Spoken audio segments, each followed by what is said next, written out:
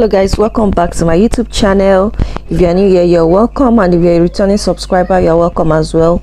In today's video we are going to be learning how to make this maxi three-tier gown. If this is something you love to watch please watch this video to the end so from the chest um from the shoulder line to the bust line and from the bust line to the waist line all right? So the waist measurement i'm using that is the half length i'm using is 16 and half inches. And the shoulder to shoulder measurement is seven inches. And then my shoulder line which is also my chest line is seven inches so right here this gown is going to be a free gown and i'm going to be using the biggest part of my of the body measurement which is eight and a half. So the eight and a half is what i'll be using for the waist as well. So right now i'm just going to be marking eight and a half plus half an inch for ease and then one inch for sewing allowance okay? I'm going to add it to the bust line over there and I'm also going to take the same marking at the waistline. Now if you don't want yours to be very free at the waistline you can just maintain your waist measurement plus ease and then one inch for sewing allowance. So I'll go ahead now and connect the mark together. So once I'm done this is what I'm going to have. Right here I'm cutting the back first okay? And this particular gown is going to have zipper allowance. This is because the neck is going to be very small but if you don't want zipper allowance to yours then you might want to make your own neck a little bit wider than mine. Because for the back neck i'm using wideness of three inches and the depth of one inch okay? So i'm going to be marking the front um okay so right here is where the zipper is going to stop so the zipper is going to be stopping about six inches from the back neck. Okay that's where the zipper is going to stop. There is no need for the zipper extending to the waist area since it's going to be a free dress. You can equally add button to yours if you don't want to add zipper. You are equally on the right track. So i'll go ahead now and cut this out. I left half an inch at the shoulder area for joining. So right now is my um is the back so i'll go ahead and mark out the front neck. So for the front neck i'm using three and a half inches for the depth of the front neck but the wideness of the neck is still three inches. So but i'm not going to be cutting the front neck yet. I'm only going to be marking out the front neck. So i'm going to use this pattern to cut out the back first then after i'm done cutting the back i'll go ahead and then cut out the neck. So i've gone ahead to mark the front neck. So i'm just going to open back the zipper allowance and then use it to cut the front the back. So right now i've used the pattern to cut the back. This is what i have after cutting the back. So i'm just going to set it aside. So right now i will cut up the zipper allowance so that i can use this pattern to cut out the front so I'll also go ahead and cut out the neck for the front. So after that this is what I have for the front all right? So what I'm going to do now is for the style of this gown there's going to be a gathers at the neck area. So we are going to be doing a slash and spread. So I'm going to be marking three and a half inches around here which is uh three and a half inches is the dart measurement for the person I'm working with for the measurement of this person. And at the neck area I'll just come out by half an inch. Okay I'm going to be marking half an inch here. So the next thing is to connect the half an inch to the three and a half inches I mark outward. Just use your half of your nipple to nipple measurement down there. So I use three and a half for mine. So I'll go ahead now and cut this out. Now when I'm cutting I'm not going to cut the whole of the paper out. I'm just going to be leaving about half an inch down below so that it's easy for me to spread this on the fabric. So i'll be spreading directly on the fabric. So i'm just using my pin to pin down the pattern paper. And then after spreading i'm just going to measure how many inches i want.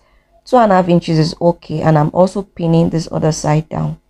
So I'll just go ahead now and cut this out. You can see that this is very very simple to make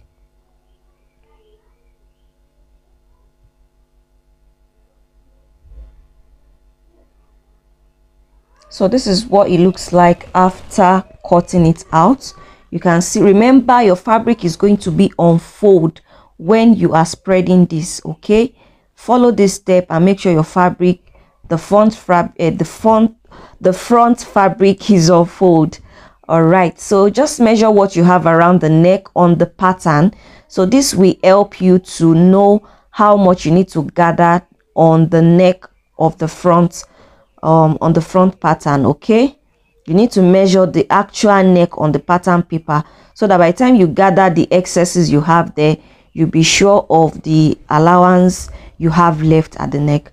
So i'm just going to cut out the sleeve right now. The length of the sleeve is 23 inches but right now i'm going to be um, cutting about 19 inches and then i'm just coming down by three and a half to get the cap sleeve and then I'll curve it to this place. And then you measure to make sure that you have enough length for your um for your armhole.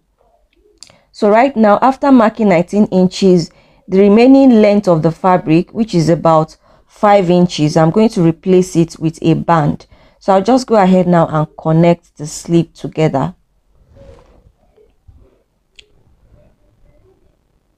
so as you can see I have 19 inches.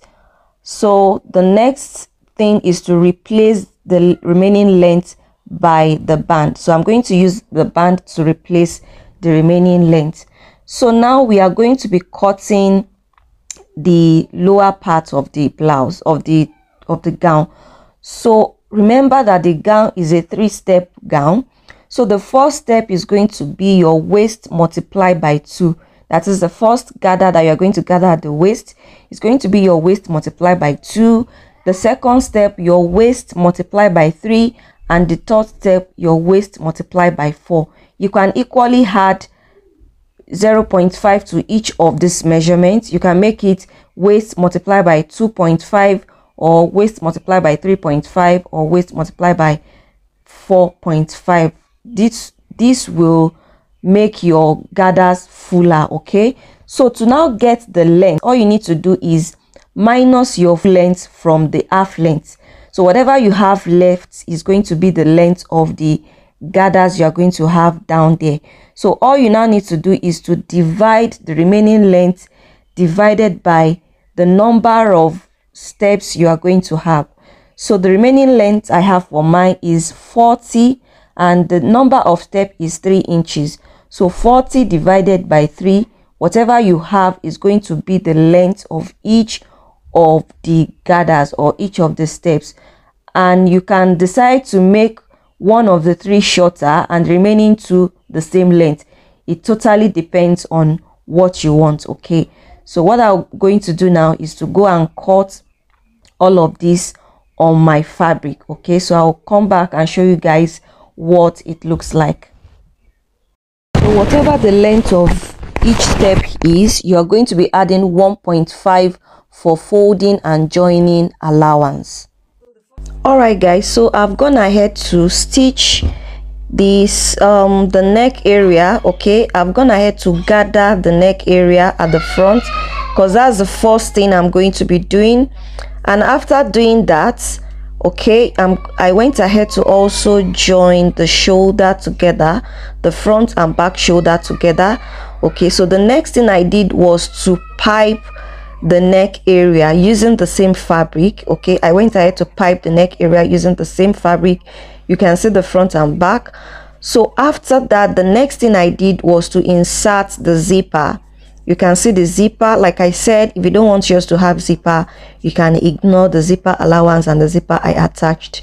So after that the next thing i did was to also attach my sleeve to the armhole area okay you can see the band. I've also replaced the band to the sleeve as well. So after attaching this to the armhole area i went ahead to stitch the sleeve from the sleeve down to the half length okay? You'll be stitching from the sleeve down to the half length i have here. So right now i'm going to turn this to the right side so that i can okay. So at the back here i close the remaining part of the zipper allowance so i left about one inch opening here which i'm going to also use to join the gathers i made around.